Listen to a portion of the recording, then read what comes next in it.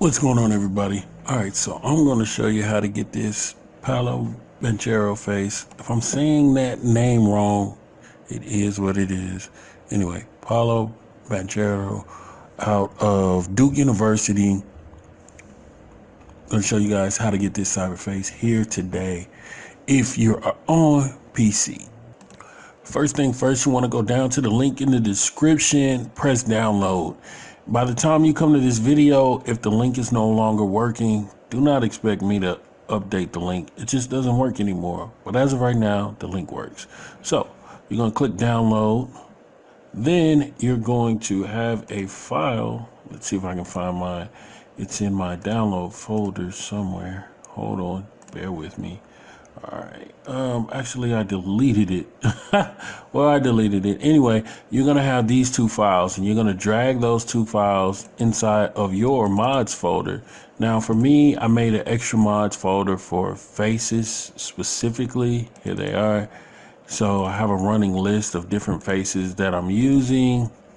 So anyway, you're going to drag it into whatever mods folder you want.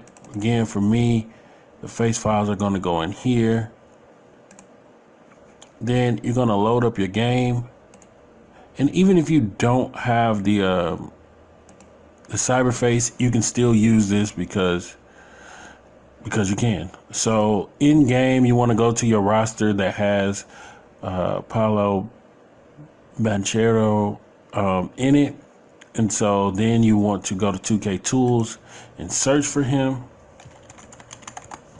As you can see, he's right there. Then you want to change his face ID to 8082. So even if you don't download the cyberface, it will still change to him in game because he has an official face scan. But yeah, it'll change to him in game because he has an official face scan. Now, the cyberface that we downloaded actually has this tattoo. The tattoo was created by Petty Paul Pierce. So big shout out to him. But it's 2K's face scan mixed with uh, Petty Paul Pierce's tattoo update. And so that's what it's going to look like.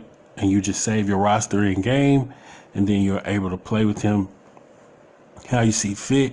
Now, if you want uh, the stats and ratings that 2K gives him, you can go over to um, Shua Jota has a video. I I'm pretty sure he has a video about how to get his uh, stats. Let me see. Hold on one second. I'm gonna go over on um, YouTube. Paulo. Whoops. P A U L O. I think I'm spelling it wrong.